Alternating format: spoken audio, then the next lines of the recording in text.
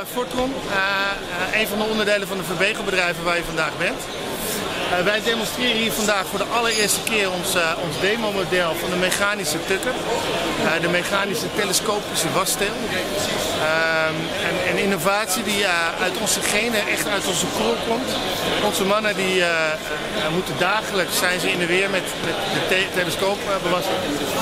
En ehm, daar ontstaan veel fysieke ongemakken, nek- schouderklachten.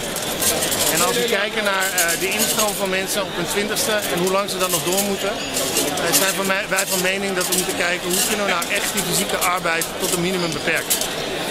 En uh, we denken dat dit een eerste aanzet is. met deze methode hoeven onze jongens uitsluitend een, een knopje te bedienen en de steel gaat omhoog en laag.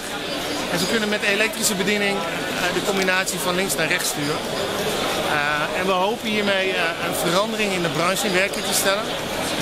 En minimaal een bewustwording te creëren.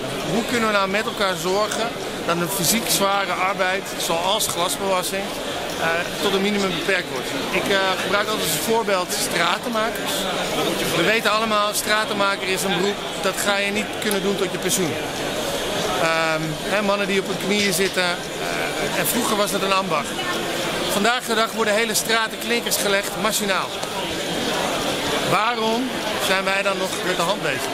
Ik denk dat we echt met elkaar moeten nadenken hoe we die fysieke inspanning tot een minimum kunnen beperken. En zo onze medewerkers tot een pensioen een mooie baan te geven.